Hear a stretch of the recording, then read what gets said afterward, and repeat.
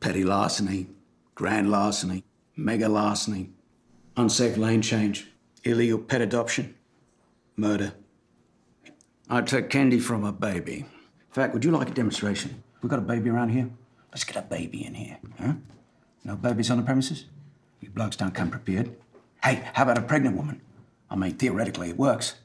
The baby takes in the candy from the, the mum's umbilical, right? So technically, I'm still taking candy from a baby. Just do that. Totally tracks. Uh, great. So, uh, what's your policy on recycling? We're talking about a whole body or just the bones? To be or not to be? That is the question. Whether 'tis nobler in the mind to suffer the slings and arrows of outrageous fortune, or to take arms against a sea of troubles and by opposing end them. Hamlet's talking about death, right? I mean, to die, to sleep, to sleep, perchance to dream. Aye, there's the rub, for in that sleep of death what dreams may come. Why is he so involved with death, you know? That's the way he looks at life, if you think about it. He's a pessimist. I'm not. My wife left me. My daughter won't speak to me. I live in an RV. But tonight, Ross and I are going to do something really, really special, you know, because that's what life is. Life is what you make out of it, out of the debris of the life that you've created. Billy Bob Thornton. Well, we could keep turning these cards over, I guess, if that's the way you want to do it. Sean Connery. Well, Moneypenny, if I, uh, if I just do this impression, we may have to go inside pretty shortly, if you catch my meaning. All right, all right. Tim Gunn. You're going to make a formal evening gown out of a map of Ohio. That's really good.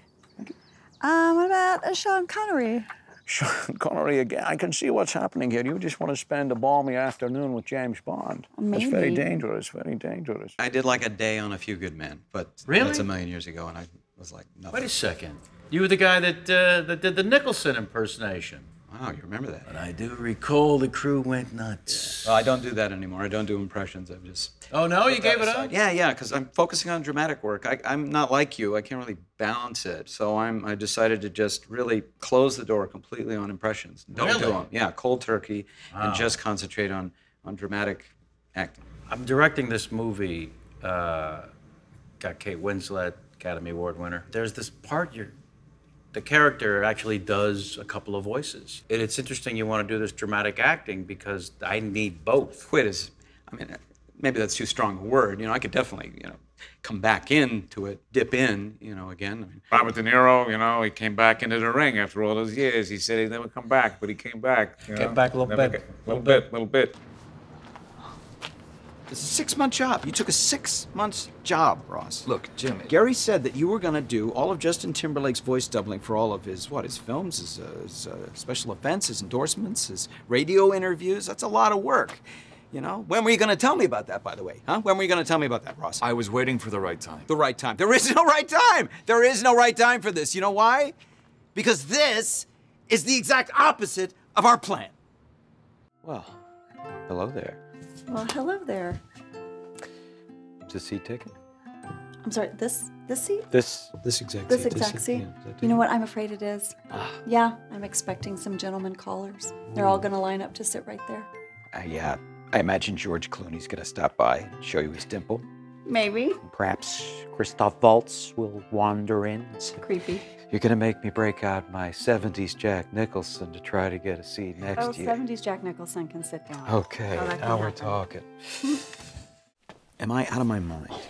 Or was that the worst Russell Crowe impression in the history of the world? I mean, it wasn't even an impression. He barely changed his voice. No, no, and they're just eating it up like it's the greatest thing in the world. But uh, Russell Crowe is definitely, you know, my one. Yeah, well, he's the best. Yeah. My name is Maximus Decimus Meridius, commander of the Northern I'm sorry, I'm sorry, I'm sorry.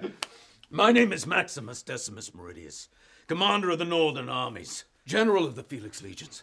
I will have my vengeance in this life or the next. You see, it's not a one-dimensional thing. Okay, there's a real performance there that you're paying tribute to. You're trying to. You're trying to, you know, give it a, a tribute or an homage or a or trimage. You know, you're trying to do that, but you're not. You just memorize the lines. Excuse me, it's okay. I got it. You know, it's like I'm smoking dope, watching TV. Of course, it's going to be imprinted in your mind, but that doesn't make it a performance. You know, I mean, we got to give at least some kind of credit to Russell Crowe. But I think we're all thinking the same thing. It's not an impression. It's more of a fan impression. No, I got this, Russ. I got this. You know, what you're doing, it's it's it's fine. It's just on one level. That's right. You got to bring it up. You know, right? We're all thinking the same thing, right? My God, my daughter could do that better when she was a little kid, a little twerp in diapers. That's all I'm saying. Just not just for for it to be a, a real. I'm just saying it's for it to be a real impression. That's all.